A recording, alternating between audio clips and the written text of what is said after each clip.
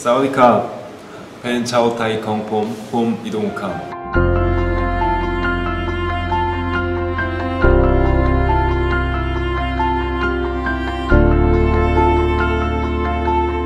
안녕하세요 이동욱입니다. 아, 9년 만에 태국에서 팬미팅을 또 하게 됐습니다. 그래서 굉장히 기쁘고 떨리네요. 아, 태국은 뭐 일하러 가기도 하고 여행도 가고 자주 갔던 곳인데요. 이번에 또 팬미팅을 하게 된다니까 감회가 새롭습니다. 어, 항상 저를 응원해주시고 성원해주시는 팬들 직접 또 만나볼 수 있는 기회가 돼서 너무너무 기대가 많이 되고요. 함께 즐거운 시간, 행복한 시간 보냈으면 좋겠습니다. 그럼 2017년 5월 27일 토요일 BCC홀 센트럴 프라자 랏프라오 5층에서 2017 이동욱 아시아 투어 in 방콕 For My Dear로 찾아뵙겠습니다. 그때까지 모두 건강하십시오. 감사합니다.